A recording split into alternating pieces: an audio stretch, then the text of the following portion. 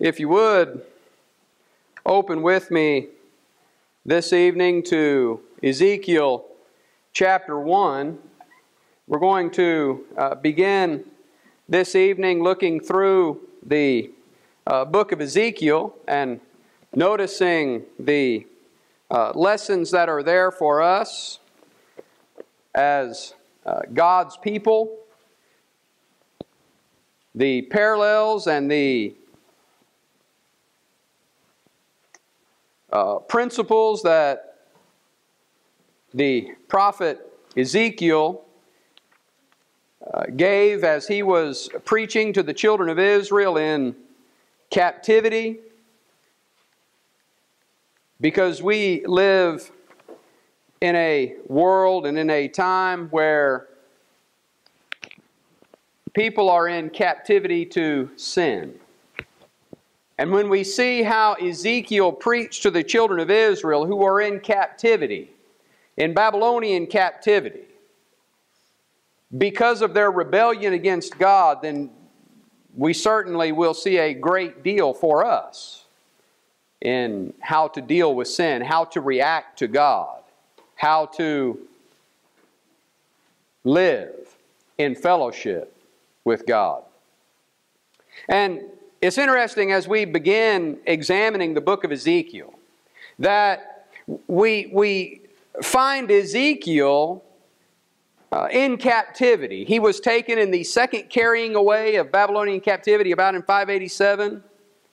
And in that second carrying away, the uh, Babylonians took the uh, common people. They still left uh, some in Jerusalem, but they had already taken the, uh, what we might say, the upper class of uh, Jerusalem society. And that's where we find Daniel being taken into captivity. And so Daniel had already been in captivity by the time that Ezekiel was taken into captivity with the second carrying away. And as the book opens, we find him by the river Chebar with the captives. It says, Now it came to pass in the 30th year, in the fourth month, on the fifth day of the month, as I was among the captives by the river Chebar, that the heavens were opened and I saw visions of God.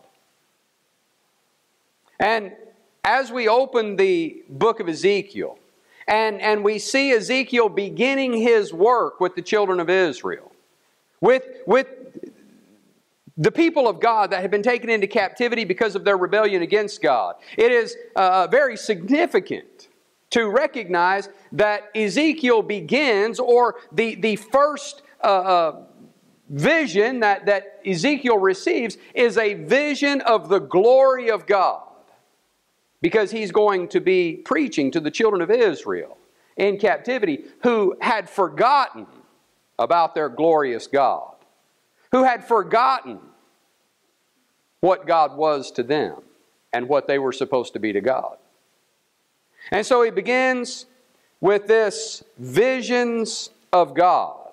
You drop down to verse 28 of Ezekiel chapter 1, and it says, Like the appearance of a rainbow in a cloud on a rainy day, so was the appearance of the brightness all around it. This was the appearance of the likeness of the glory of the Lord.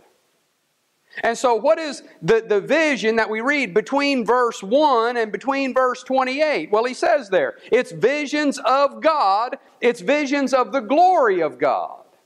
And so, this vision, what we read in chapter 1, has the singular purpose of magnifying the glory of God. And we want to go through it just quickly this evening and see what is in this vision. You know, I have heard all kinds of things about this first vision and the prophecy of Ezekiel. And I've even heard people say that, you know, the, there's the, the wheels and the, the wheel within the wheel, and that's talking about UFOs, and, and here's UFOs in the Bible, and it doesn't have anything at all to do with the glory of God. When we see what he says in verse 1, visions of God, when we see what he says in verse 28 visions of the glory of God, the glory of Jehovah, he says there, then that will help us understand what it is he's talking about, what it is he's seeing in these visions. And something else to keep in mind too is that this is a vision written down. And so the words that are written here are to paint a picture, to, to, to paint a picture in our minds so that we can learn from it and see something about the glory of God. And while we will go through the individual aspects of the picture, we need to keep in mind also not to get carried away with the minute details. Because it's, it's like a painting that you see on a wall. And when you look at the painting from, from a distance, you can see it and, and you admire the beauty of the painting. You admire the, the uh, technicality of the painting, and, and, and you're getting the, the overall beauty of the picture looking at it from back. But then you can get up close to it and you can examine it in more minute detail. And you can, you can see maybe the kind of brushstrokes that the artist used or, or the, the medium that the, the artist used. Is it pencil? Is it pen? Is it watercolor? but getting up close to it and examining that minute detail should never take away from stepping back and looking at the whole picture and getting the lesson of the whole picture. And so we want to keep that in mind as we go through because we are going to get up, as it were, close to the picture and look at some of the detail. But we want to keep the whole picture in front of us all the time. And remember that no matter how detailed we get in our examination, the point of the picture is to exalt the glory of God. As we begin looking at this visions of the glory of God in Ezekiel chapter 1, we see, first of all, the uh, uh, four cherubim. And these four cherubim show the glory of God shining through His servants. The glory of God shines through His servants. You see uh, the uh, cherubim described there beginning in verse 5. Also, from within it came the likeness of four living creatures. And this was their appearance. They had the likeness of a man. Each one had four faces, and each one had four wings. Their legs were straight, and the soles of their feet were like the soles of calves' feet. They sparkled like the color of burnished bronze. The hands of a man were under their wings and their, uh, on their four sides. And each of, their, uh, each of the four had faces and wings. Their wings touched one another the creatures did not turn when they went, but each one went straight forward.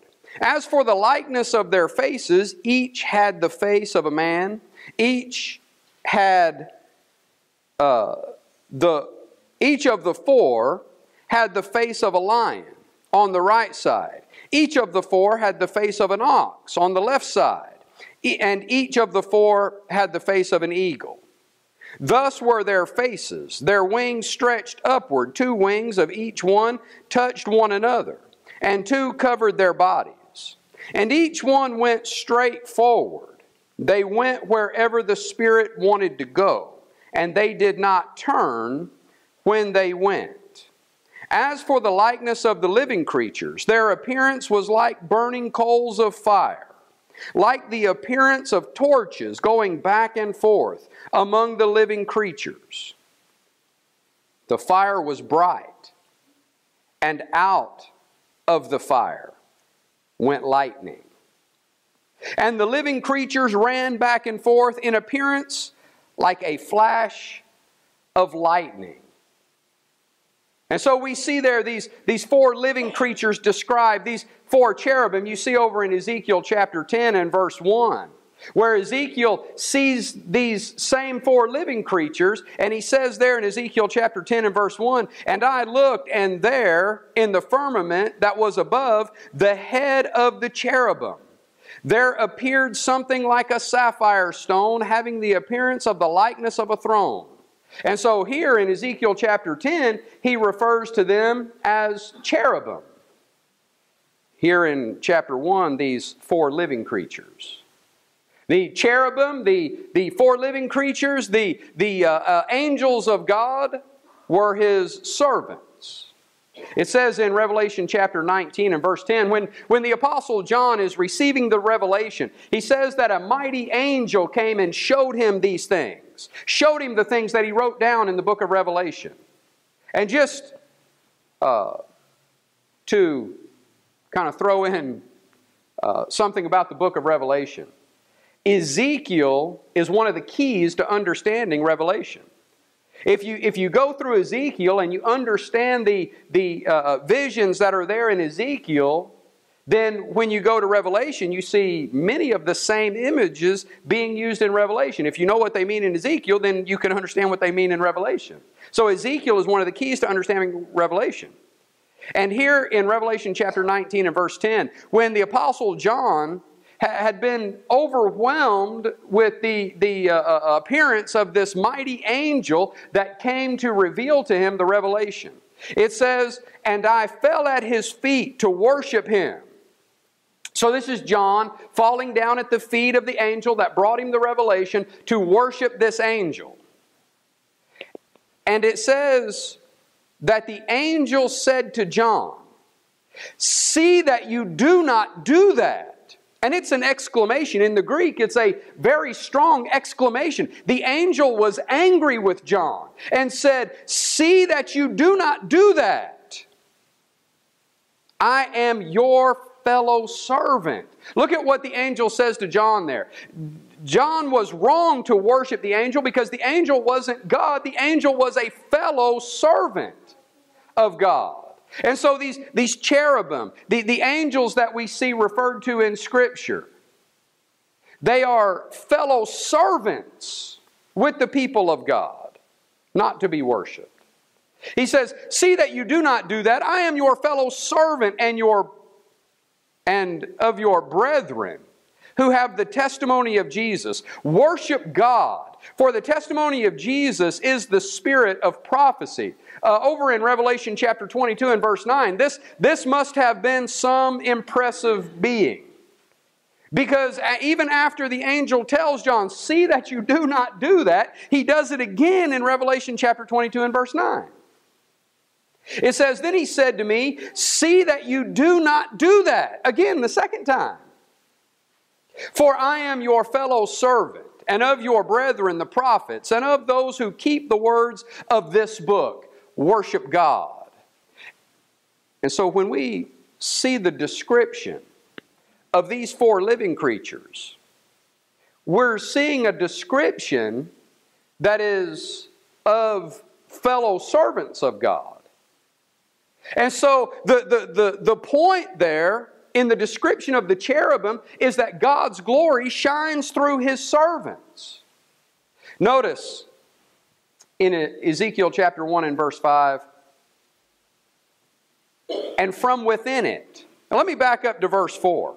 Then I looked, and behold, a whirlwind was coming out of the north, a great cloud, notice it, with raging fire engulfing itself. And brightness was all around it, and radiating out of its midst the color of amber, out of the midst of the fire. And so, where do the four living creatures come out? When Ezekiel sees the four living creatures, they're coming out of this brightness, they're coming out of this fire. It says that they came out from the midst of the brightness that is God's glory. And so God's glory was reflected through them. They, they, were, they were a representation of God's glory. We, as fellow servants, are supposed to be reflections of God's glory. It says over in 2 Corinthians chapter 3 and verse 3 Clearly, you are an epistle of Christ, ministered by us, written not with ink, but by the Spirit of the living God. Not on tablets of stone, but on tablets of flesh, that is, of the heart. And so, Christians, the servants of God, God's people, are supposed to be like letters, like epistles of Christ, so that people can read us and they can see something about the glory of God reflected in us. When Christians are persecuted, it says in 1 Peter chapter 4 and verse 16 that we should never be ashamed when we suffer as Christians. Because we're exemplifying the example of Christ. We're, we're representatives of Christ. That's what the word Christian means. One who belongs to Christ. And so we're representatives of Christ. And over in Ephesians chapter 3, beginning with verse 10, it says there, to the intent that now the manifest wisdom of God might be made known by the church to the principalities and powers in the heavenly places according to the eternal purpose which he accomplished in Christ Jesus our Lord. Look at what Paul says about the church there. See, just as these four living creatures coming out of the fire, coming out of God's glory, and, and reflecting, we'll see in just a minute, reflecting that, that brightness through them. It is the responsibility of God's servants, the church today, to make known, according to the Apostle Paul, to make known the manifold wisdom of God, to show the manifold wisdom of God to the world. And so we are like those uh, cherubim. We are their fellow servants of God that should be reflecting the glory of God in our service to Him. Back in Ezekiel chapter 1 and verse 13, you see, not only they came out of the fire, they, they came out of the brightness that is God's glory, but the fire was in them, it says. As for the likeness of the living creatures, their appearance was like burning coals of fire. They were bright, they were shining. That, that, that glory of God that they came out of was shining out of them. Like the appearance of torches. Look at that. These servants of God were like torches that were shining the glory of God going back and forth among the living creatures. The fire was bright, and out of the fire went lightning. The brightness of the fire represents God's glory. It says in verse 27 of Ezekiel chapter 1 And from the appearance of his waist and upward, I saw as it were the color of amber and the appearance of fire all around within it. And from the appearance of his waist and downward, I saw as it were the appearance of fire with brightness all around. That brightness of fire is referring to the shining glory of God. And yet, here it is shining forth from his servants. God's glory shines through us when we serve him to his glory. That's what Jesus said in Matthew chapter 5 and verse 16. Let your light so shine before men that they may see your good works and glorify your Father in heaven. Isn't that what that's talking about? Isn't that the same thing it's talking about with those cherubim and, and, and shining like burning coals of fire? That the glory of God was shining out of them. And, and Jesus says that's what happens when we do His good works.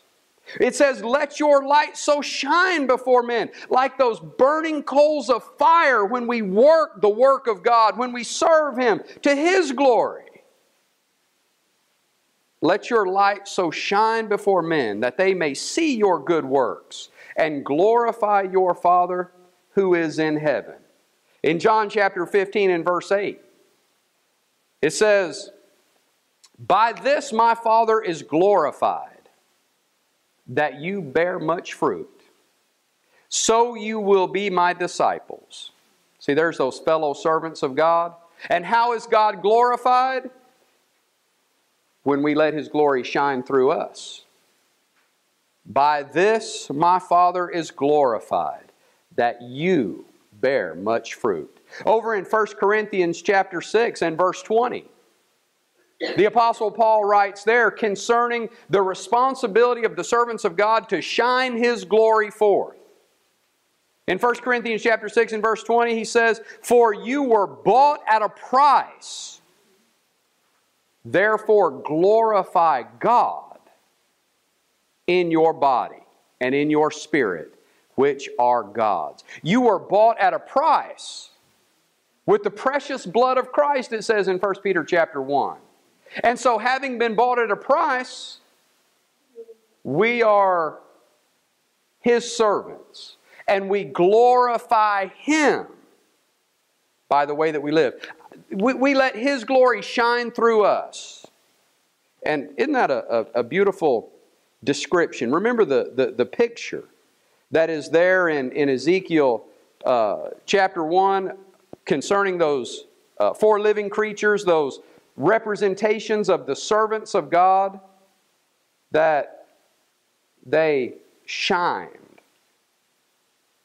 like burning coals of fire, and how that should describe us in our service to God. And so we see in Ezekiel's vision of the glory of God that God is glorified through his servants. And then we see the uh, four wheels and as I said starting out, people have made the biggest mess out of those four wheels that you'd ever want to see. Even, even to the point of saying that it's UFOs. You know, you got the wheel and a wheel within the wheel, and that's, you know, the it's it's silliness. When you look at the picture, it, it makes it very clear. You had the, the, the, cherubim with their wings touching and facing out so that they didn't turn when they moved. They went this way and then they went that way and they went that way and they didn't turn and go. They went straight like that. And whichever direction they went, you could see all four faces. Those four faces that represent the glory of God. And then you've got the four wheels in verses 15 to 21. It says, Now as I looked at the living creatures, behold, a wheel was on the earth, beside each living creature, with its four faces. The appearance of the wheels and their workings was like the color of beryl. And all four had the same likeness. The appearance of their workings was, as it were, a wheel in the middle of a wheel. When they moved, they went toward any one of four directions. They did not turn aside when they went. And so the wheel within the wheel is the wheels cross. So they go this way and they go this way. That's the wheel within the wheel with the wheels crossed like that. So they can go in any direction without turning. And so he says, When they moved, they went toward any one of four directions. They did not turn aside when they went. As for their rims, they were so high, they were awesome. And their rims were full of eyes all around the four of them. When the living creatures went, the wheels went beside them. And when the living creatures were lifted up from the earth, the wheels were lifted up. Wherever the Spirit wanted to go, they went, because there the Spirit went. And the wheels were lifted together with them. For the Spirit of the living creatures was in the wheels. When those went, these went. When those stood, these stood. And when those were lifted up from the earth, the wheels were lifted up together with them. For the Spirit of the living creatures was in the wheels. And so you've got this uh, description of the four wheels. And the wheels represent God's providential working in the world. See, the, the, the, the, the wheels are, are, are motion. And you've got the, the, the four directions of the wheels. The number four in here in, in Ezekiel and in other places of prophecy, in uh, uh, uh, biblical numerology, which is something else people get pretty far fetched with. The number four simply refers to, to uh, uh, completeness, fullness, like the uh, uh, four corners of the earth. That means the whole earth, the completeness of it. The four points of the compass. Again, it's talking about completeness, the fullness of it. And so the, the, the, the, the four wheels, with the wheel within the wheel, and going in any of the four directions, is God's providence throughout all of creation. They showed awesome motion in verse 18. As for their rims, they were so high, they were awesome. And their rims were full of eyes all around the four of them. And they showed tireless energy. In verse 21, it says, When those went, these went. When those stood, these stood. And when those were lifted up from the earth, the wheels were lifted up together with them. For the spirit of the living creatures was in the wheels and they represent God's tireless work in His providential care of His people. You have the wheels within the wheels. And so, just as the living creatures had four faces to look in four directions, each wheel could move in any of four directions. God is active in the affairs of man, and there is nowhere He cannot move. God's servants should be moving throughout the earth, carrying out His will. And then you've got the eyes in the wheels. You know, uh, there's a few places in the Bible where it talks about being full of eyes, and uh, we sing that song sometimes. All seeing eye. There's an all seeing eye. Talking about God's omnipotence, His omnipresence.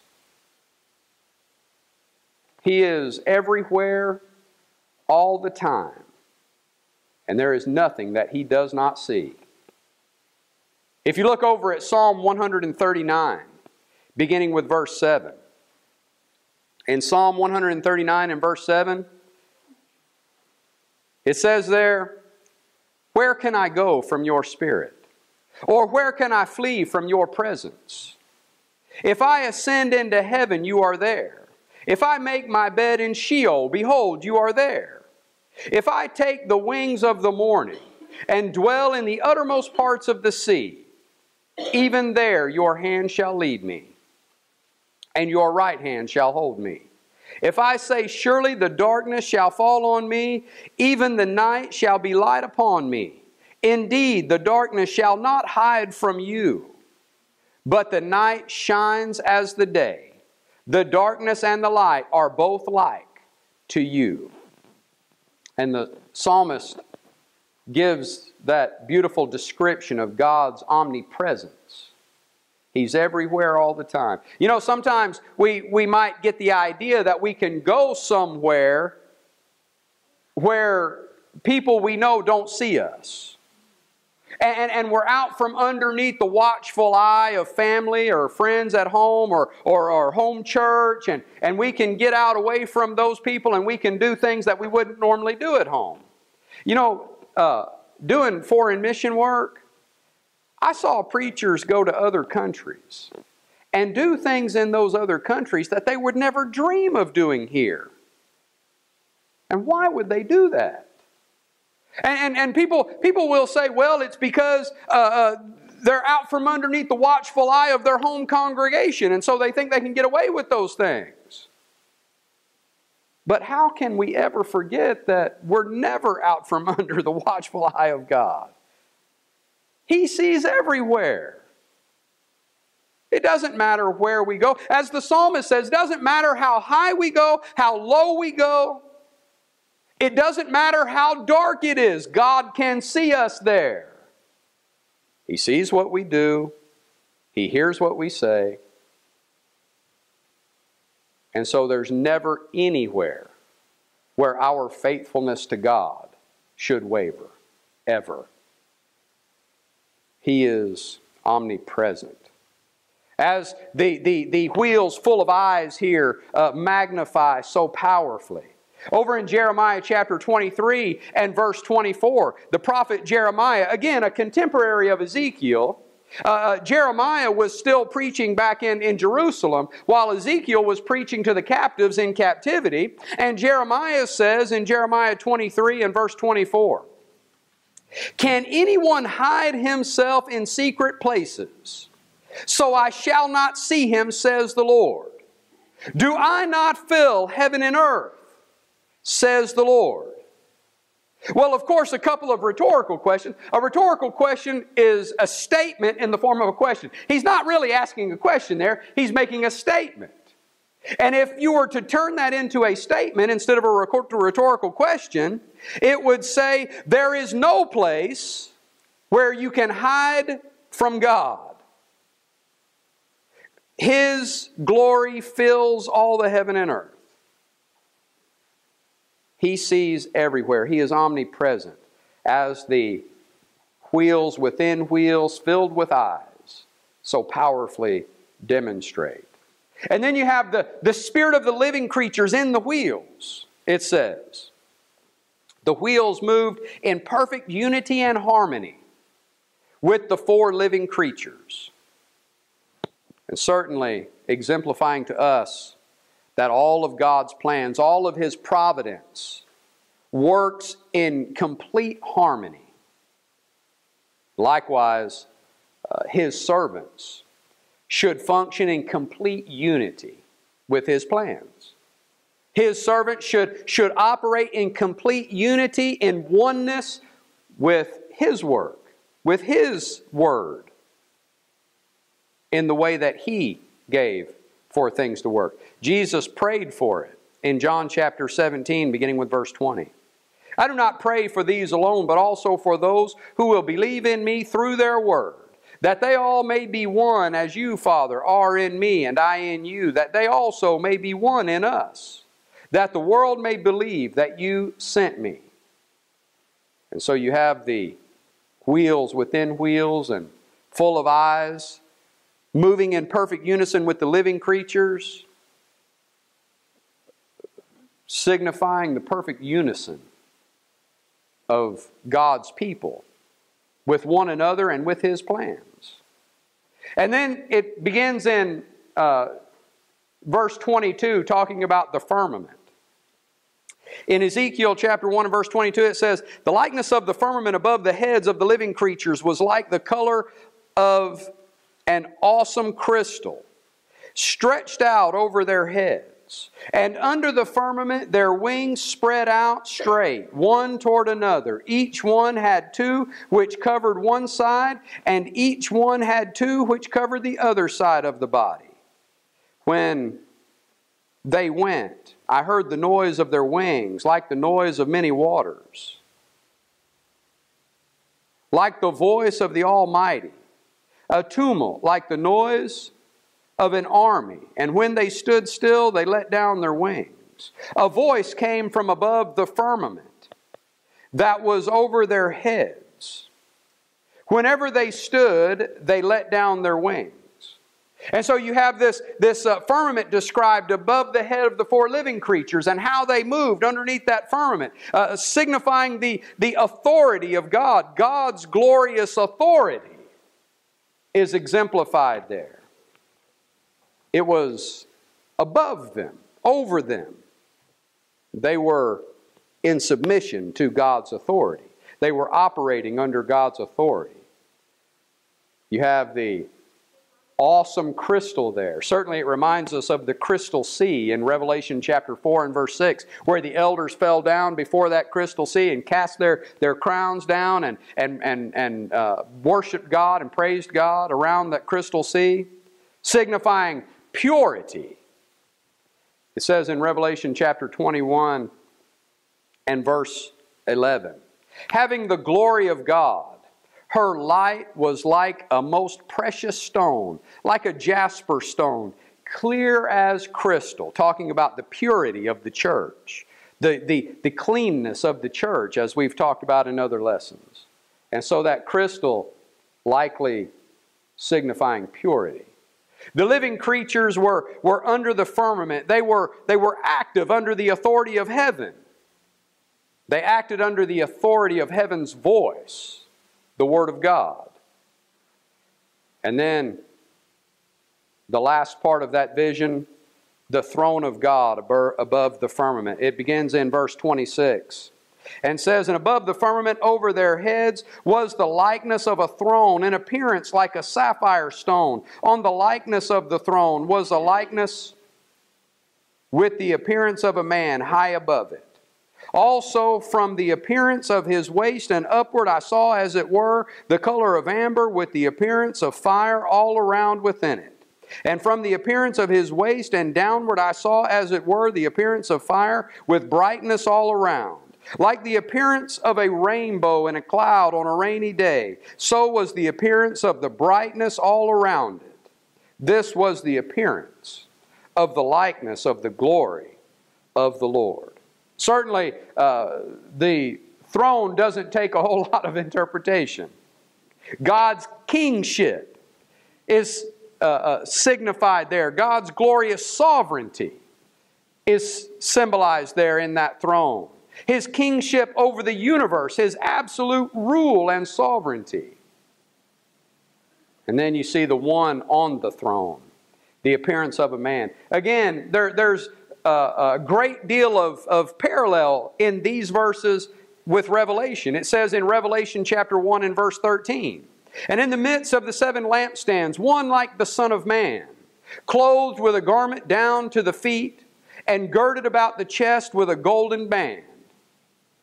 And so you have uh, Christ described there, the likeness of the Son of Man. And in Daniel chapter 3 and verse 25, we read there as Daniel is uh, receiving his revelation, says, Look, he answered, I see four men loose walking in the midst of the fire, and they are not hurt. And the form of the fourth is like the Son of God as uh, uh, Nebuchadnezzar looked into that burning fiery furnace and saw not Meshach, Shadrach, and Abednego alone in there, but one like the Son of Man walking around in there. And so we have God on his throne, surrounded by a rainbow, which is a reminder of God's mercy. You remember in Genesis chapter 9 and verse 13, God sealed his covenant with man to never again destroy the earth by water with a rainbow in the clouds. And so anytime people would look at that rainbow in the clouds, they would see a symbol of mercy, a symbol of God's promise. The righteous were separated by the flood. And so the righteous would be separated in Ezekiel's day by the captivity. And so the righteous remnant today is separated from the world by baptism in 1 Peter chapter 3 and verse 21. And so that rainbow should always be a reminder of God's mercy. Certainly for us, the mercy of God in the scheme of redemption, the plan of salvation. As we have the opportunity to hear His Word and believe what it teaches about Christ and His kingdom, believing that, repenting of our sins, and confessing that we believe Jesus Christ is the Son of God and making that confession with the mouth unto salvation, being baptized into Christ to have our sins washed away by His blood, we have a constant reminder of His mercy. And so, in summary of that vision, and I, we went through it really fast, and there's a whole lot there that we could spend a whole lot of time on. But in summation, we see the four living creatures representing God's glorification through His servant. We see the, the four wheels representing God's tirelessness and His providential care for His servants. We see the firmament representing God's sovereignty. He is above all and directs the affairs of His servants. And then we see the throne of God. He is the sovereign ruler of the universe and will have mercy on His servants who follow His will. It may be this evening that